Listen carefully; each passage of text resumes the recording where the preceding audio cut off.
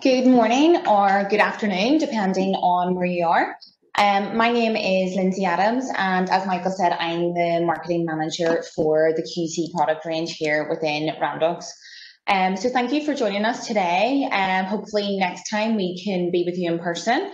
Um, but it's my pleasure to be with you. And over the next 30 to 40 minutes, um, I want to discuss the use of QC software to identify um, any performance issues. So really just following on from what Stephen has already presented um, in terms of EQA, um, we'll look at how we can use data management packages and our QC to look at this on a more real-time basis.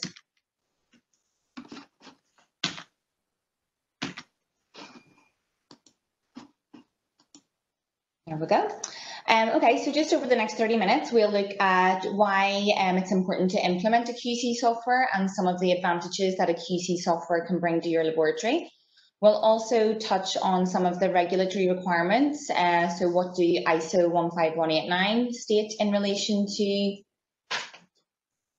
um, data management. We'll look at some specific performance metrics and again how they can help to improve laboratory efficiency. And then finally, we'll introduce some tools to assist the review process, in particular 24-7. And we'll do a quick walkthrough of the software, highlighting some of the key reports and key charts that will actually help you to improve the identification of any trends, bias, system errors, and of course, help you to improve uh, laboratory efficiency. Okay, so first up, why implement a QC software or data management package? Um, most laboratories um, will come to me saying that they already participate in EQA or proficiency testing, or that they already use their LIMS or the QC software on board their analyzer. So some people don't see the benefit of an additional piece of software. But really, there are quite a lot of benefits that um, we can offer on top of what you're already using in the laboratory. So not only will a QC software provide a method of tracking QC results and managing daily QC activities, it will do that for all of your instruments, all of your laboratory analyzers on one centralized platform. On top of that, um, unlike any LIMS or uh, LIS, um, it will also deliver peer group updates. And Stephen's already touched on the importance of peer data in um, facilitating faster troubleshooting and identification of QC failures, and also helping with that root cause analysis. So you can quite quickly see if an error is unique to your laboratory, or perhaps it's something other labs using the same QC and the same instrument are already using. And finally, then it will quickly and easily calculate um, not only your basic QC statistics, so things like your standard deviation and CV, but also some more advanced metrics. And we're going to touch on some of those advanced metrics this morning. Um, and most importantly, that's going to help to improve detection of any trends or bias. And as we'll go through the presentation, you'll see how that might actually improve your QC strategy design as well. Okay, so touching on the regulatory requirements, and specifically uh, ISO 15189. So in relation to data management, they state that the lab shall have a procedure to prevent the release of patient results in the event of a QC failure. So in other words, when the QC rules are violated or indicate that the examination results are likely to contain a clinically significant error, the results should be rejected. And they also go on to say that QC data shall be reviewed at regular intervals to detect trends in examination performance. So how will a data management package or a QC software help with this? So basically they will automatically apply QC multi-rules and performance limits. So the Westgard rules, as you're probably more familiar with, um, it will actually alert, alert or reject any results that violate those QC multi-rules or performance limits. And on top of that, it will generate a variety of charts allowing visual identification of trends. So things like your Levey-Jennings plots, histogram plots, all of those things will be automatically uh, generated.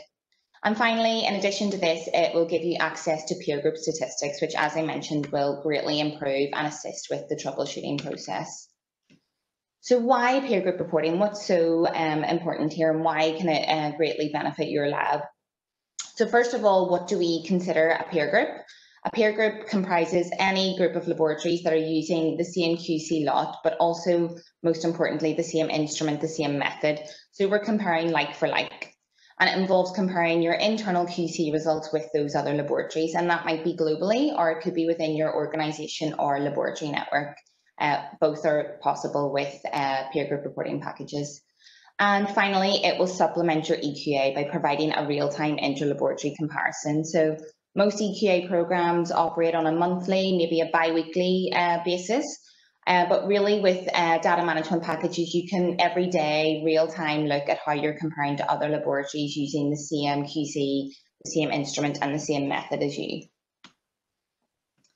So based on how you perform and how you compare, you can troubleshoot and take steps to improve your performance. And the ultimate goal here is to increase the quality of the patient test results that you release and increase that confidence that you're releasing the correct results. Um, it will also help to improve your EQA performance. So by taking any necessary corrective actions before the next challenge, you can ensure that your EQA performance or your proficiency testing performance will be within uh, the limits.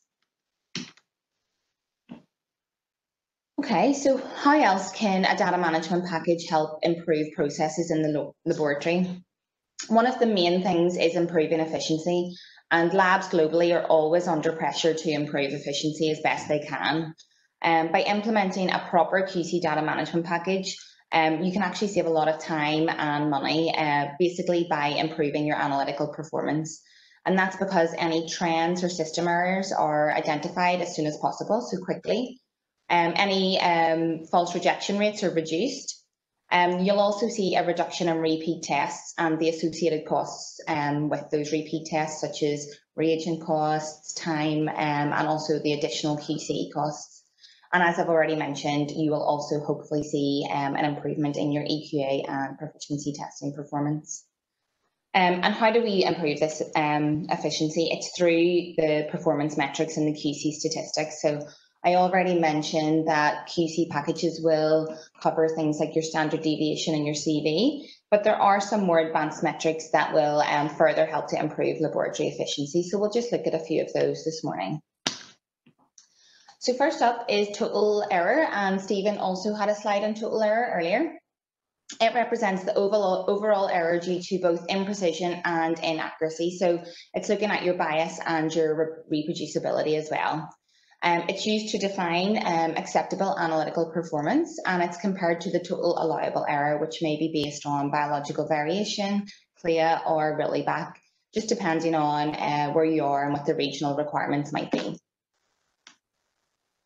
So just to give you an example, uh, this table shows the biological or the total error based on biological variation for a number of different immunoassay analytes. Um, just over on the far right hand side, I'll get my laser pointer. You can see here the limits due to both inaccuracy and imprecision um, for biological variation. And on the far right hand column, we have the total allowable error. So this is the percentage limits that um, you want to be within when it comes to total allowable error.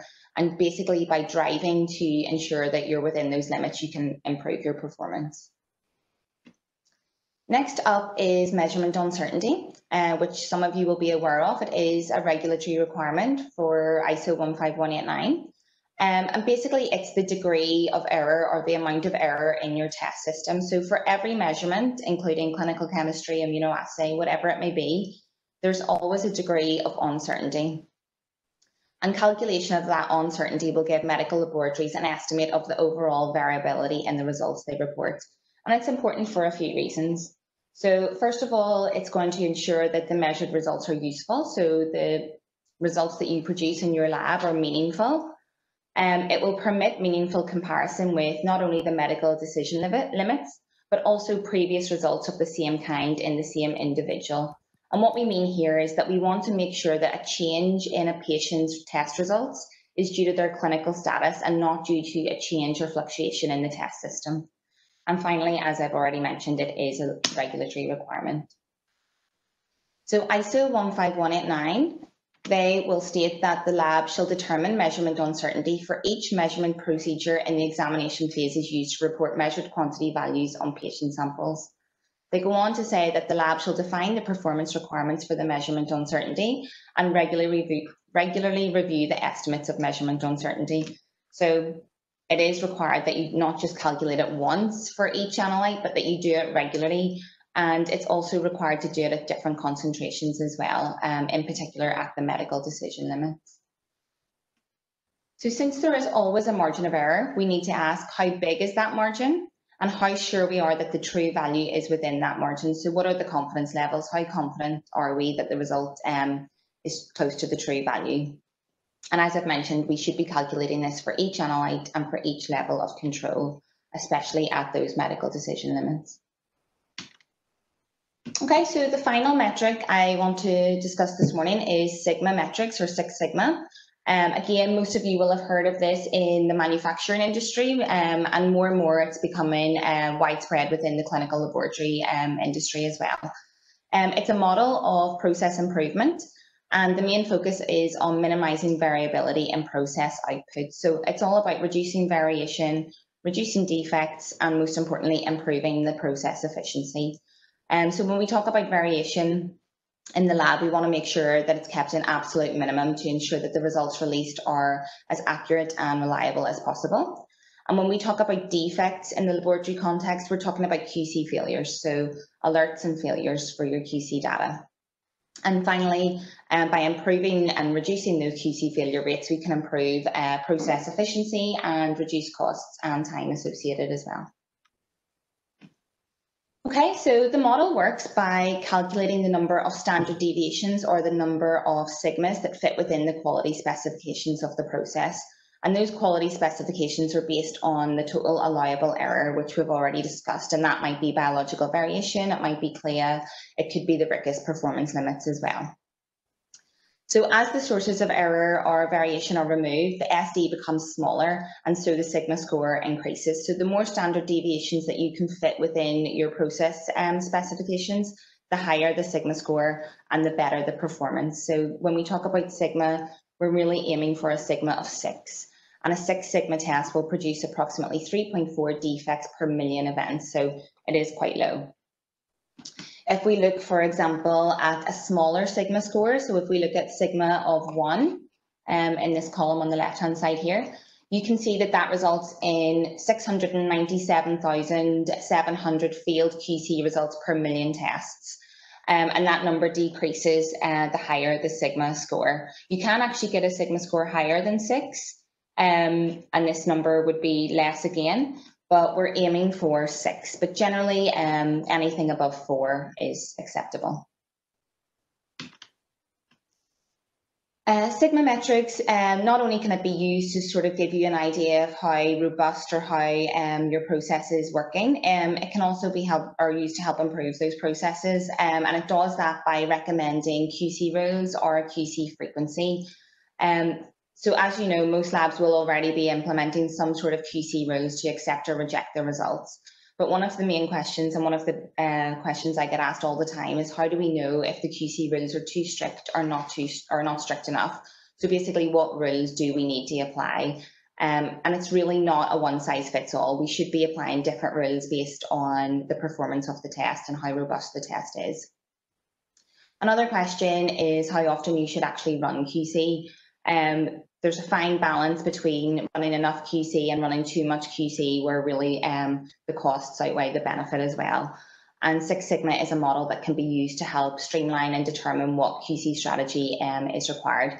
So it will help you to identify a set of QC multi-rules and also a QC frequency based on previous test performance. Um, and that's really what we're looking at in this table here. So you can see um, a test that is operating with a sigma score of six. Um, we need much less um, stringent rules and less QC frequency than a test that is maybe running at a sigma under four. So a sigma or Six Sigma test um, requires QC once per day, and that would be for each level of QC. Um, and you can get away with quite uh, basic QC multi-rules or Westgard rules. Um, in this instance, the 1-3S rule is recommended. However, if we just move on down the table to a sigma score of maybe three or two, um, then QC would be required at least four times per day. And again, that would be for each level of QC. And you can see here that a lot more uh, QC multi-rules or Westgard rules are actually needed to control the performance of that test and improve the performance of that test. Um, so hopefully that gives you an idea of how you can use Sigma metrics to sort of reduce costs and um, improve efficiency in your lab. And as I said, the ultimate goal is to adjust your QC strategy adjust your QC frequency um, with the goal of improving your assay performance. Um, Six Sigma and measurement uncertainty are both included within the Acusera 24-7 software. And this is something that was recently commended by Sten Westgard. He's a big advocate for um, Six Sigma and Sigma metrics. Um, and he put a nice little post on LinkedIn just advocating the use of 24-7 for calculating those Sigma metrics.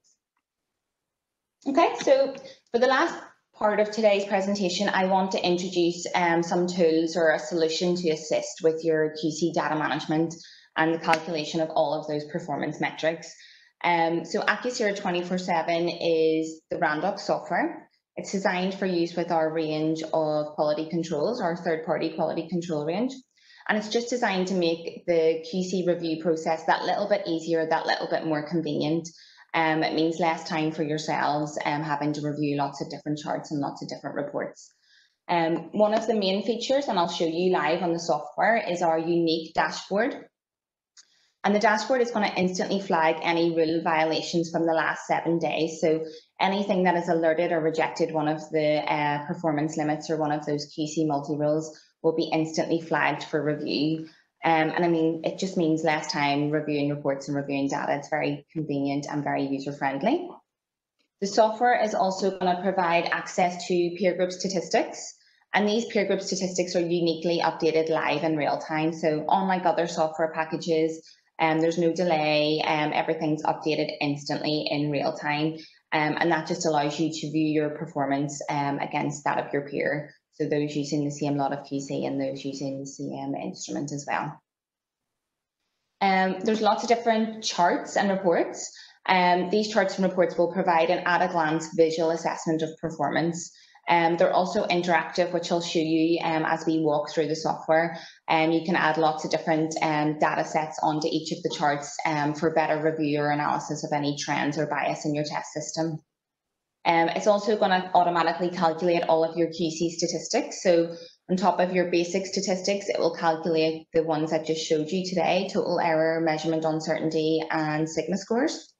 Um, it's also a good platform for managing um, multiple laboratory sites from one location. So if you're part of a lab net network or you have satellite labs in your network, um, this software is ideal for um, checking how each lab is performing um, across the chain. Okay. Um, it's also highly flexible, um, so it's designed to meet the needs of all laboratories, regardless of size, budget, um, all of those things. So um, I'll show you some of the features as we go through the software, but you can set up your own custom multi-rules, custom performance limits. Um, you can choose your peer group um, and how for, or how far you want to drill down for the peer group. Um, it really is very, very flexible. Um, it's also capable of connecting automatically to your LIS or your LIMS um, for automated data entry, which again just eliminates the need for manual data entry and making the process a little bit smoother and a little bit faster. It's a cloud-based solution, as we'll see in just a little bit. Um, so you log in simply via a website, um, and that ensures access from anywhere at any time. So from inside the lab, um, but also from outside the lab. And as I mentioned, it is designed for use with the Randox range of Acusera controls. So um, a software is only as good as the controls that are supplied along with the software. Um, and it's important that a control is commutable, has clinically significant levels, and all of the things we know um, to be true for the Acusera range.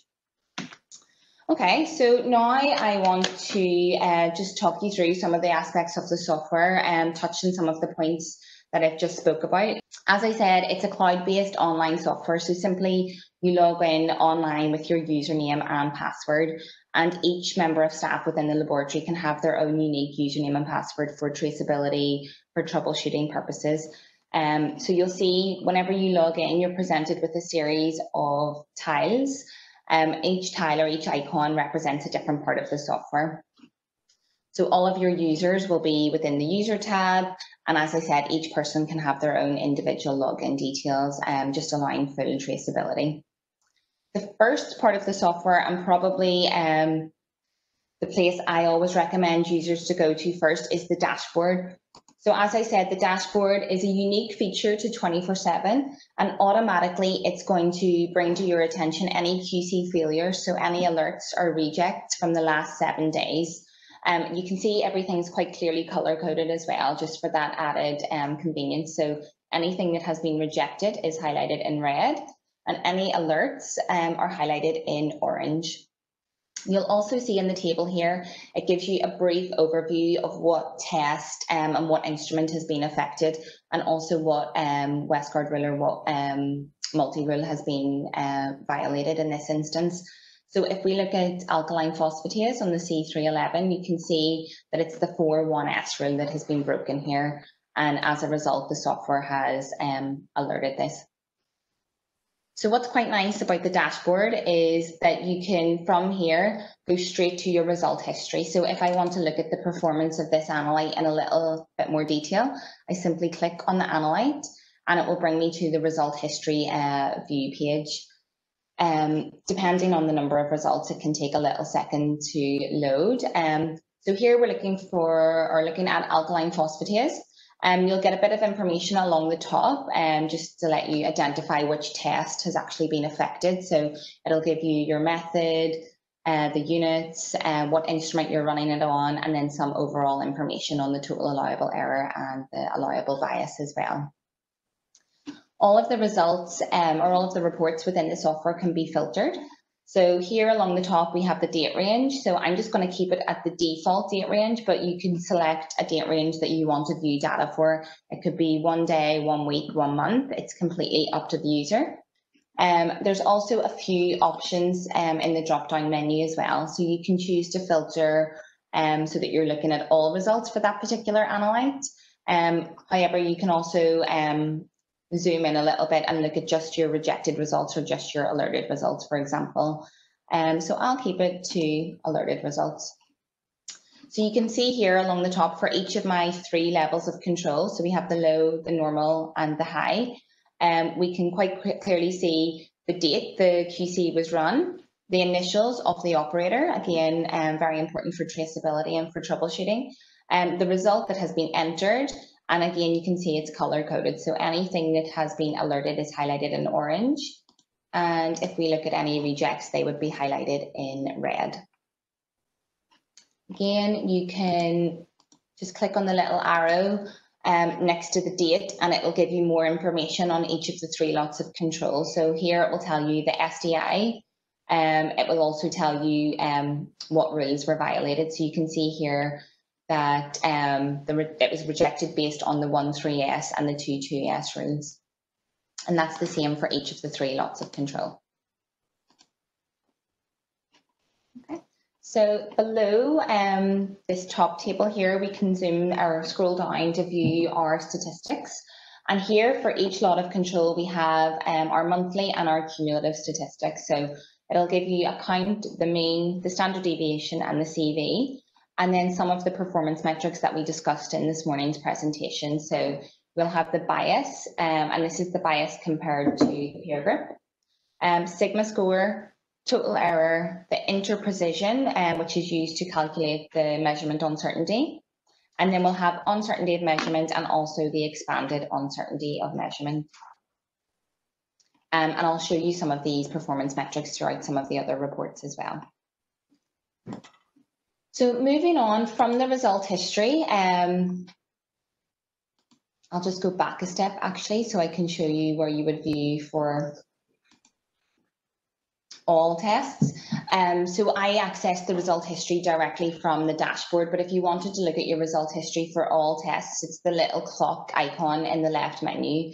And you can see here that for all of my tests and all of my instruments, um, I can quickly and easily access the result history. This can also be filtered just by clicking on any of the column headings, just to make it a little bit easier to find um, the test. You can also use the search um, functionality at the top as well. Okay, so next I am going to show you how we would view performance on some of the charts. So again, it's just the little uh, bar chart icon in the left-hand menu. Uh, at the top here, we can select the chart that we want to see. So and the options are Levey-Jennings, histograms, and performance summary charts. So first up, we'll look at the Levey-Jennings. And I'm just going to select one um, analyte for the purposes of this demonstration, but you could select multiple analytes to show on this chart as well. So let's double click on albumin. And again, you can select your date range. I'm just going to go with the default, um, which in this case is one year. Um, you can select your lots of control. So you can choose just to look at one level of control, or you can look at all three levels of control. Um, you can choose to combine the charts. So what we would be doing here is combining the results for all three levels at once, but I'll show you that in just a little bit. Um, again, the chart can be based on um, SDI or percentage deviation. And when based on SDI, you can choose um, whether to have a fixed or a variable legend along the sides. So I'm just going to keep it as default and generate the chart. Okay, so you can see we have quite a lot of data here. Um, as I said, we're looking at one year's worth of data.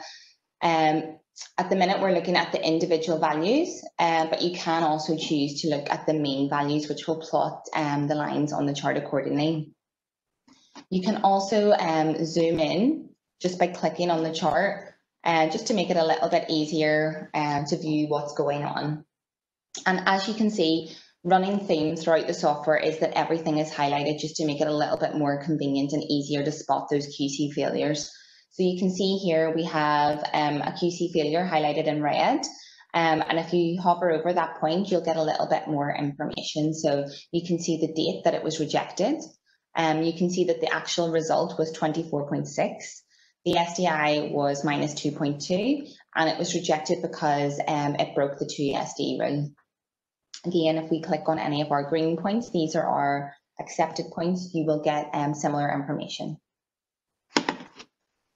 Okay, so just below you can see each of your charts for each of the three levels of control. Um, and as I said, we just select the little combine slider to view all of those on the same chart. And it just makes it a little bit easier to spot if there's been a problem at perhaps a specific concentration. And again, I'm just going to zoom in just to like make it a little bit easier to view the data.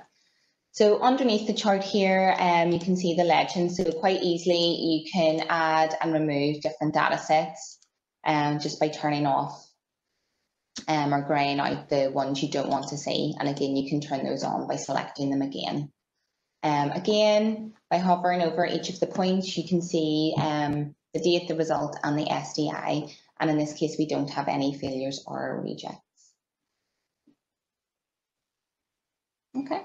So that's viewing different lots of control or different levels of control on a single chart. We can also view multiple analytes. So say we wanted to look at all of our albumin tests on a single chart, we would just go back out, select those and regenerate the, the Levey-Jennings plot. Uh, just bearing in mind that the more information that you do add to a chart, the more difficult it can be to interpret.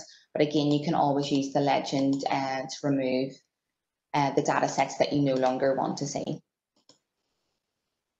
Okay, so from there, we can keep the same criteria and view that data on the histogram.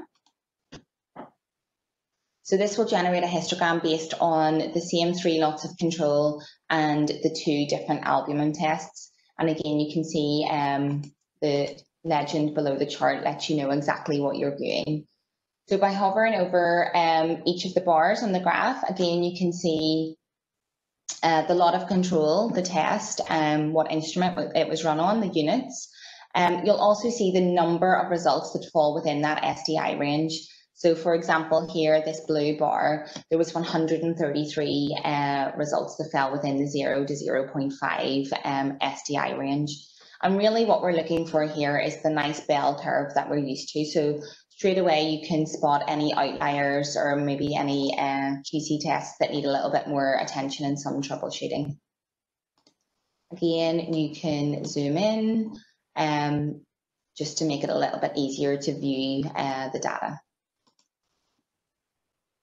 Okay, and then the final chart is our performance summary chart. And again, this will um, auto-generate based on the data that we've already pre-selected. So we're looking at three different levels of control um, for a few different albumin assays. And again, you can see that everything is color coded um, on the chart. So what we're looking at here is your SDI and your CVI plotted onto the graph, and that's your SD compared to the peer group and your CV compared to the peer group. And ideally, you want to fall within the dark green section of the chart here, which is the desirable re region.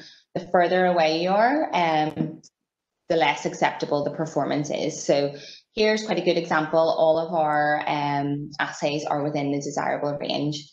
And again, you can see just by hovering over any of the points, you'll get the CV, um, the CVI and the SDI compared to the peer group.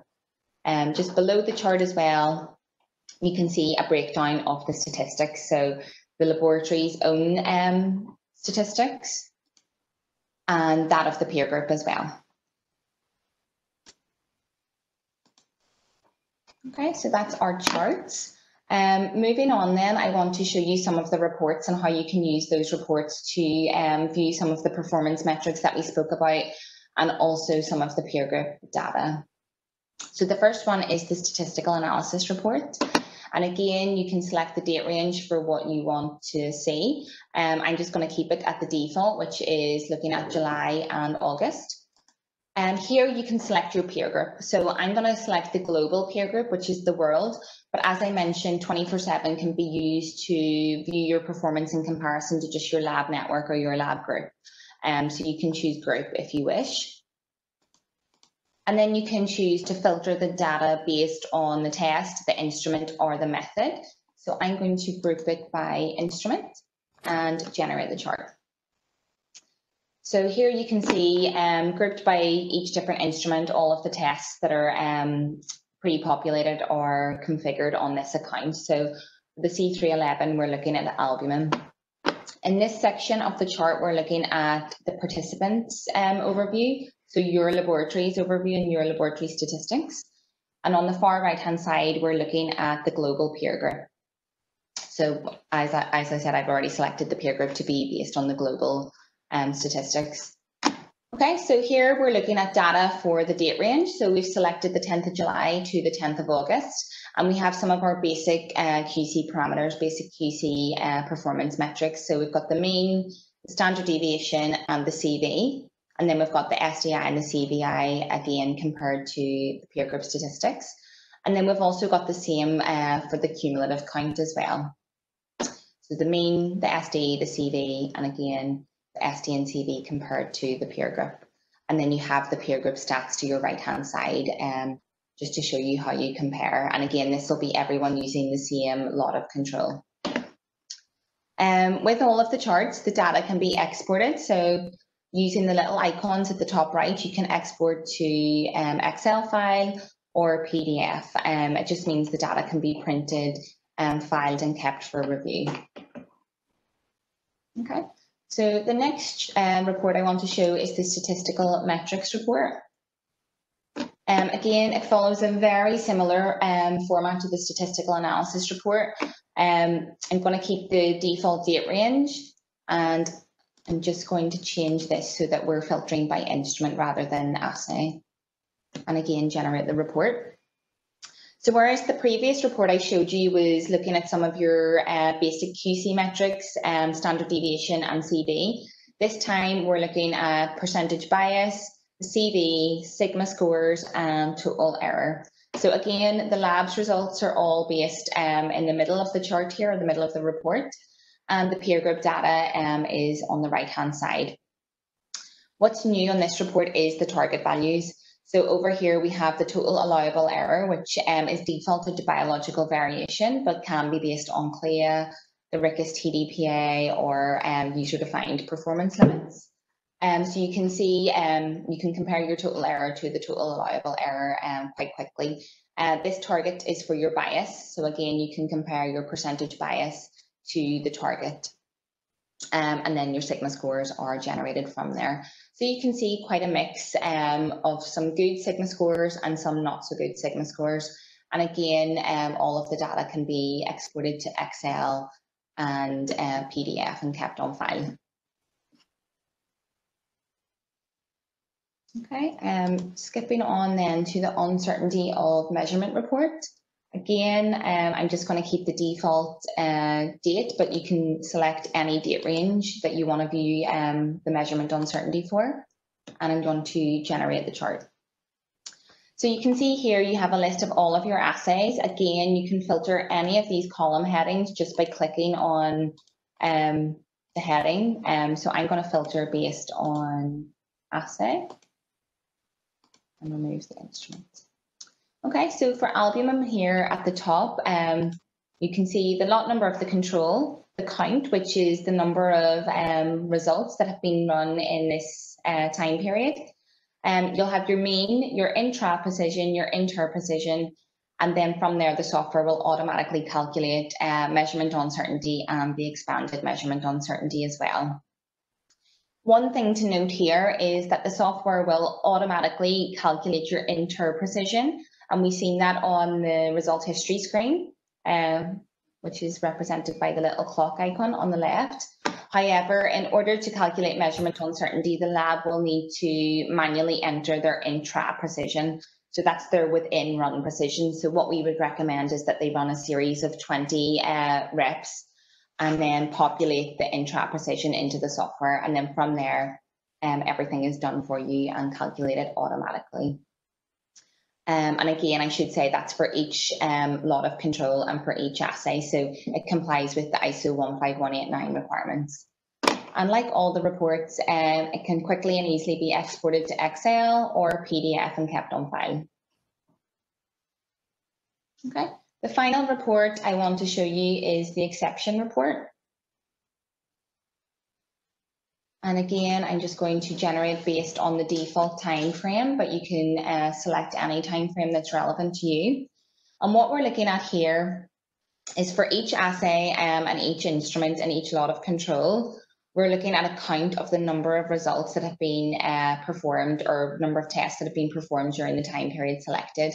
And it will group those into three brackets. So it will give you a percentage of results that are um, within two standard deviations those that are, that are between two and three standard deviations and those that are over three standard deviations. So you can quite quickly and easily get a count of um, any failures or anything that's outside those three standard deviation limits um, and any tests that maybe need to be uh, troubleshooted or the data looked at a little bit closer. Again, we can export to Excel or PDF and print uh, for regulatory purposes. Okay, so just skipping down uh, the menu a little bit um, to utilities. And I want to show you the Acusera Advisor tool. So during the presentation, we spoke about Sigma metrics and how Sigma metrics can be used to improve your QC strategy design. Um, we actually incorporate a tool within the software that will help to do this as well. So again, for each of your tests, we can recommend a minimum QC frequency and a set of multi-rules. Um, and again, this is based on the Sigma scores already calculated within the software. So in this case, um, for albumin, um, we're recommending that results that are greater than 1 2S are rejected, and the advised frequency is three times per day. So one level of control three times per day. And from here, we can automatically apply those rules by hitting the apply advised rules button. Um, and as I said, that is recommend or that is uh, calculated for all parameters and all analytes within the software. Um, there is a little um, bit of criteria that needs to be met before it will calculate. Um, you need to set a performance limit. So you need to set, um, for example, biological variation, CLIA, or the RIQAS TDPA limits. And you need to enter at least 30 results before it will calculate as well. Um, so it goes on your previous performance history and recommends from there. Okay, um, just also within the utilities menu, we have our audit report. Um, the audit report is basically used to record um, all actions within the software. So anything relating to the addition, deletion, or editing, editing of a QC test.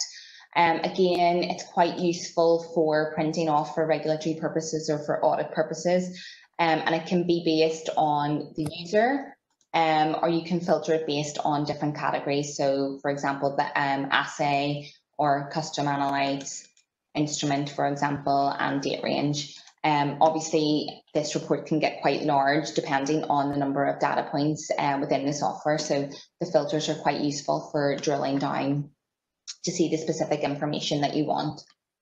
And then finally, just to finish, I want to show you some of the data entry options that are available. So as I said, automated data entry is available with the software. Um, on top of that, there's a few options as well. So we have our manual data entry, which would involve um, manually inputting the results from the analyzer. And this can be done based on the individual QC test, or you can create a panel of related tests and enter results for those um, panels. So for example, a clinical chemistry panel, immunoassay panel, etc. And that will help to speed up the um, manual data entry process a little bit. But the main one I want to show you is our EDI. So EDI is just a form of semi-automated data input. It stands for electronic data input. Um, and basically, if we can get a QC file from the instrument or from the LIMS, so an Excel file or CMB, CSV file containing the QC results, we can just simply import it into the software. Um, it's basically like attaching an email or attaching a document to an email. Um, it does require um, some mapping and configuration to be carried out in the first instance. But once we've mapped it and configured it, um, we simply just need to import the file. And from there, all of the results will be populated into the software and can be viewed in the result history section. Um, and that's really the main parts of the software um, that you can use to show QC failures, monitor any trends or bias within the software. And the one thing to note here is that the same software is used for our Acusera Verify uh, product range as well, so our calibration verification range. So again, it's one user-friendly platform that can be used for all of your internal QC data management.